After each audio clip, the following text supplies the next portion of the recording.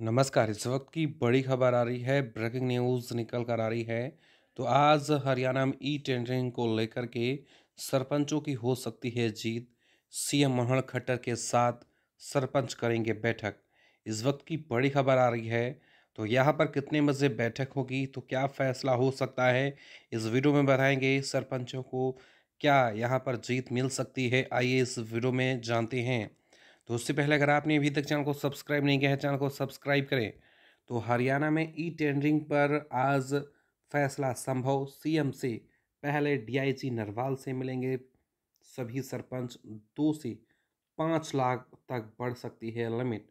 तो ई टे e tendering को लेकर के दो लाख सरकार बोल रही है, वहीं अब पाँच लाख रुपए तक इसकी लिमिट बढ़ सकती है। इस वक्त की बड़ी खबर है तो ई टेंडरिंग को लेकर हरियाणा में चल रहे विवाद का आज हल निकल सकता है। चंडीगढ़ में मुख्यमंत्री मनोहर खट्टर सरपंचों के साथ वार्ता करेंगे।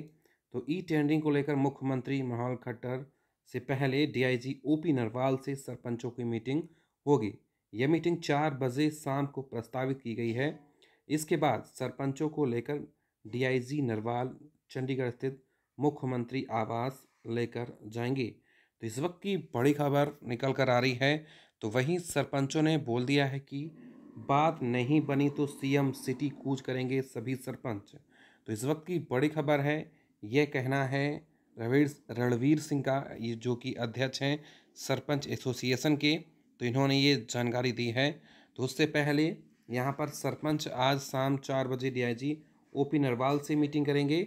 इसके बाद, इस मीटिंग को होने के बाद सीएम खट्टर के पास ओपी नरवाल ले जाएँगे सरपंचों को। तो ये बड़ी खबर आ रही है, ब्रेकिंग न्यूज़ आ रही है। लगातार अपडेट के लिए चैनल को सब्सक्राइब करें, यहीं पर सबसे पहले अपडेट मिलेगी। धन्यवाद, जय हिंद।